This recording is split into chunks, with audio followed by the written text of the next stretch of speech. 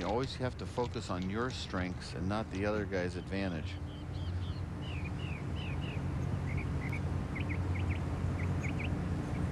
He has switched to a seven iron now. So it must be between clubs. What do you think he'll hit then instead of that, Roger? A I think we'll cut? try to hit a little cut up in there, yeah. Uh, I didn't like that one. Uh, now he kind of crossed it over. It's going a little left.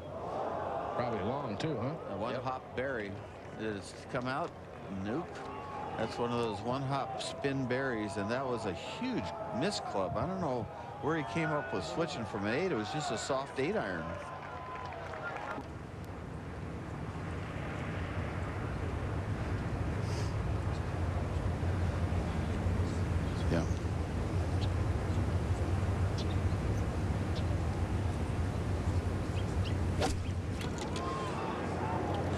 Two-shot swing on number three, the par three. It could be another one here.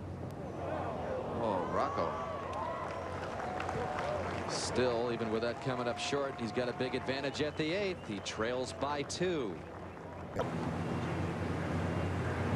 Tough to hit the green from here. You called that, Johnny. He's going to be hitting again, I think. Well, it's about a tie.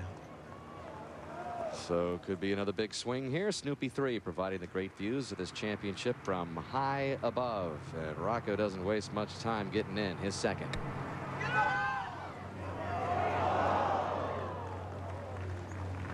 A little farther past than he wanted it. I know that.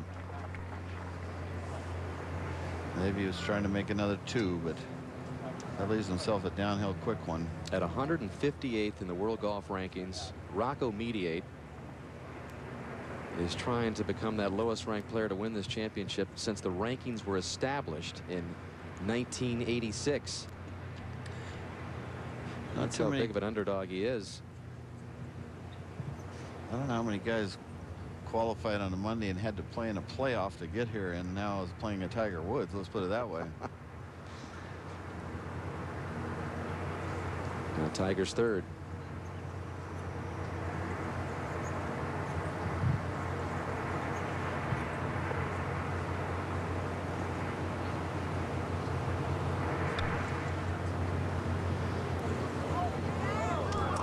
Pretty similar chip shots, looks like.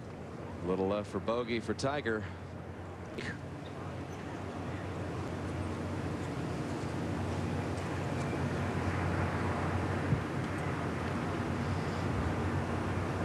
Pretty, pretty important putt here, I'll tell you.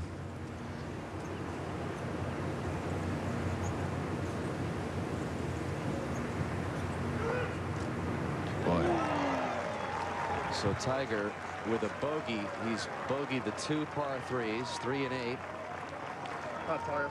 And Rocco trying to pick up one of those shots here. like Bob Murphy said, uh, you know a guy's a great putter when a vast majority of his putts go in dead center. That means you've not only got a perfect stroke with perfect speed, you've read it perfectly. So, I mean, when you see guys pouring them in the middle, that means they're doing a lot of things right. A slightly different angle than Tigers. I think he needs to go inside right with this. It's not an easy putt. I mean, under pressure.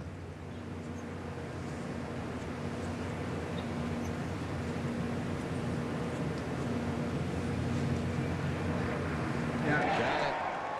Rocco cuts into the Tiger lead, trails by just one as they get ready to make the turn here, heading over to the par five ninth.